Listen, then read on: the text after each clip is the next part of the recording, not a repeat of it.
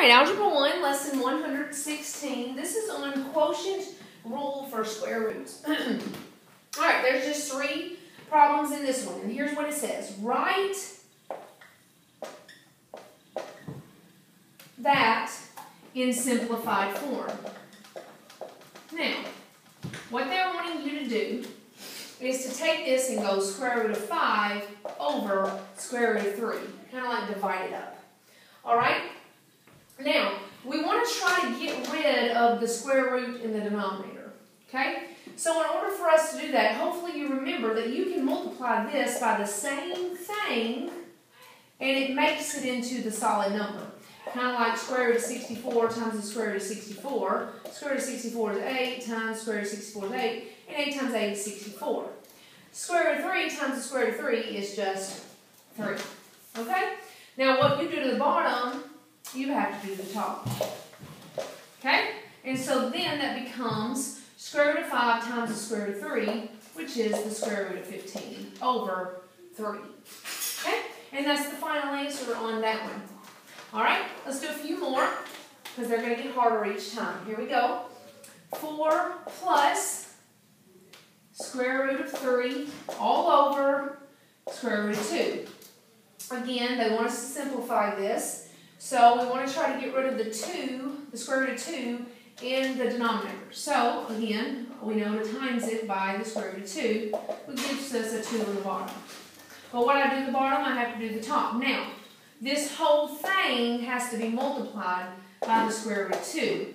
That means you have to do the distributive property. This times this plus this times this. So let's do that.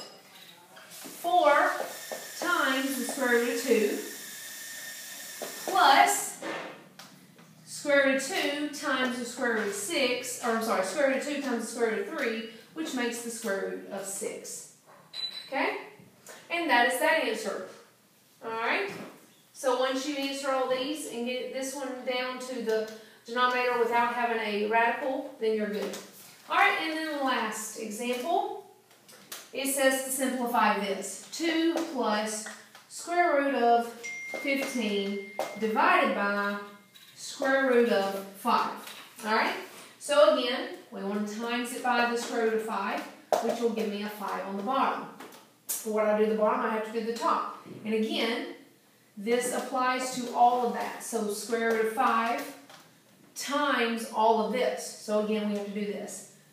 2 times the square root of 5, 2 times the square root of 5, plus 5 times the square root of 15, the square root of 5 times the square root of 15 equals the square root of 75.